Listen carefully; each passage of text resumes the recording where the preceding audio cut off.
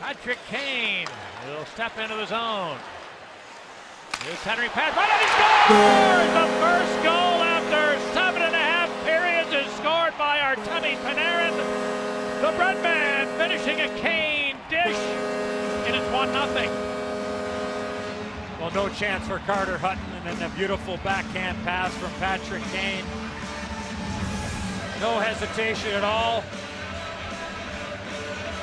Finds the seam, quick little look, and then a perfect backhand pass. No chance for Hutton.